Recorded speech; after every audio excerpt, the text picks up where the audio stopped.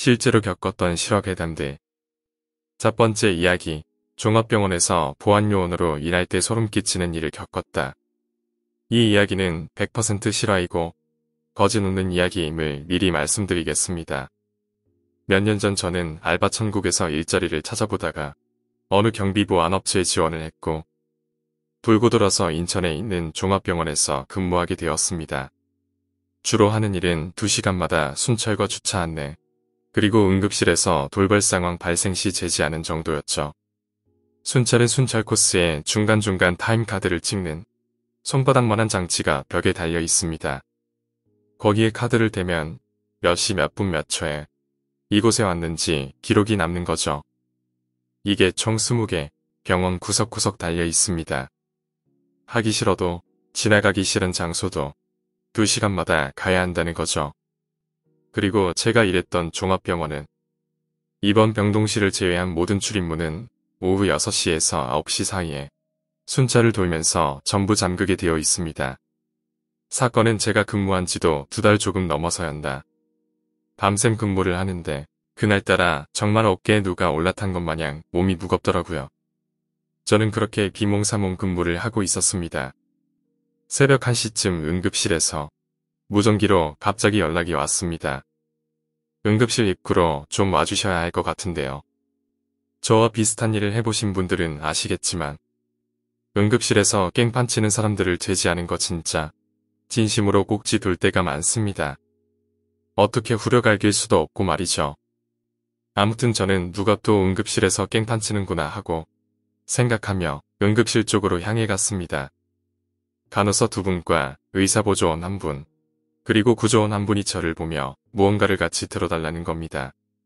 그게 뭐였냐면 무언가 두꺼운 반투명 비닐로 가득 씌어져 있었다기보단 칭칭 감겨 있었다고 표현하는 게 더 가까운 것 같습니다. 가까이 다가가기 전까진 그게 무엇인지 몰랐습니다.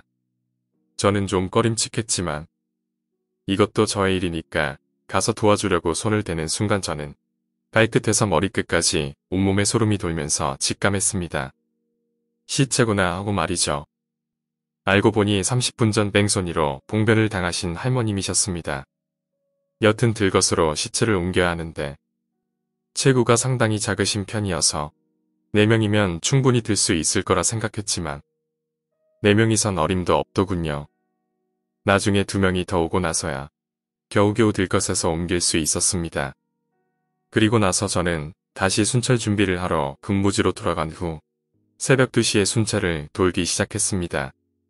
순찰 도는 내내 그 찝찝한 기분이 사그라지질 않더군요. 그래서인지 그날따라 정적 많이 흐르는 병원 안에서 혼자 순찰을 돌기가 쉽지 않더라고요. 심박수가 평소보다 높아지기도 했고요. 그렇게 순찰을 돌고 돌면서 17번째 타임카드를 찍으려고 가는 길이었습니다.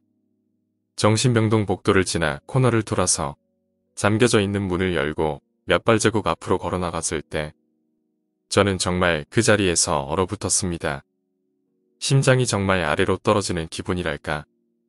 식은땀이 나면서 아무런 소리도 아무런 움직임도 취할 수가 없었어요. 제 눈을 다시 한번 의심하고 뭐 할 겨를도 없었지요. 제가 본 것은 20m쯤 앞에서 검은 소복을 입고 머리를 다 풀어헤친 할머니가 소름 끼칠 정도로 엄청나게 빠른 걸음으로 비상구 쪽을 향해서 지나가더군요. 제가 본 것이 사람이라 할지라도 분명히 아무도 없어야 했습니다. 제가 말했듯이 오후 6시에서 9시 사이 순찰을 둘 때 분명히 이번 병동실을 제외한 모든 출입문은 잠궈놨었거든요. 항상 두 번, 세 번 확인해 왔습니다. 그렇게 제자리에서 아무것도 못하고 얼어있는 상태로 가만히 서 있기만 했습니다. 정말 몸이 안 움직여지더라고요. 그리고 나서 설마 하면서 조심조심 복도를 지나 화장실을 지나서 군호를 조심스럽게 얼굴만 살짝 내밀어서 확인했습니다. 아무도 없더군요. 그리고 속으로 제발 비상구 문이 잠겨 있지 않길 바랬지요. 왜냐하면 만약에 문이 잠겨 있지 않다면 제가 본 것이 귀신이 아니라 사람일 수도 있었을 테니까요. 근데 지금 생각해보니까 그게 뭐가 중요합니까? 그땐 이미 제 영혼이 반쯤 털린 상태였는데 저는 조심스럽게 손잡이를 잡고 문을 열어보려 했지만 열리지 않더군요. 심장 박동수가 다시 한번 빨라졌고 정말 어떻게 해서든 그 자리를 벗어나고 싶더라고요. 정말 저는 이전에는 영적인 존재에 대해서 전혀 믿지 않았거든요. 직접 본 것만 믿어왔으니까요. 영적인 존재를 항상 부정하던 저로선 엄청난 충격과 공포, 그리고 말로 표현할 수 없는 두려움에 떨어야 했습니다. 그리고 저는 순찰을 마저 돌지 않고 그날을 마지막으로 일을 그만두었고요. 그 이후에 한동안 그날 있었던 일 때문에 후유증에 시달리다가 이제는 아무렇지도 않게 이야기할 수 있을 정도가 되었네요. 솔직히 누가 귀신 또는 영적인 존재를 보고 놀라서 소리 질렀다 말하면 저는 왠지 그게 거짓말 같고 못 믿겠더군요. 왜냐하면 사람이 정말 겁에 질리면 입도 뻥끗 못하게 된다는 걸 그때 알았거든요. 두 번째 이야기, 폐병원의 고양이. 동네 잔칫날 형이랑 형의 선배에게 들은 이야기다.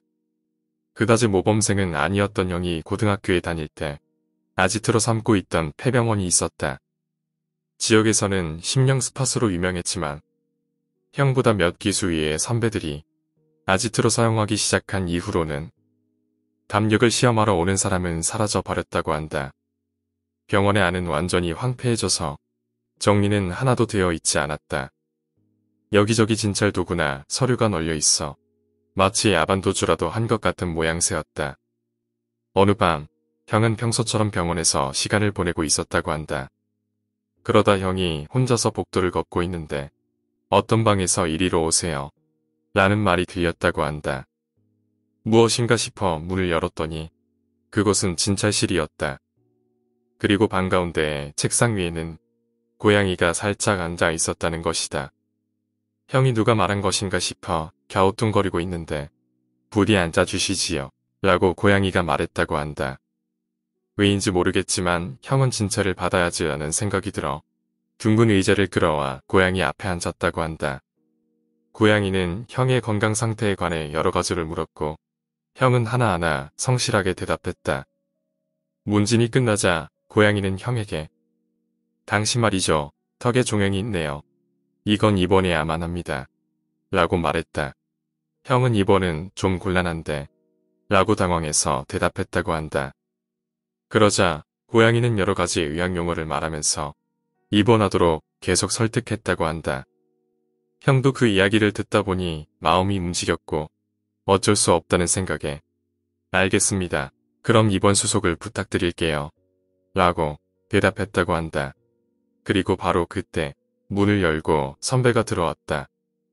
그 선배의 말에 의하면 복도를 걷고 있는데 문 안쪽에서 형의 목소리가 들렸다는 것이다. 혼잣말이라도 하는 건가 싶었지만 누군가의 이야기에 계속 장단을 맞추고 있는 것이었다고 한다.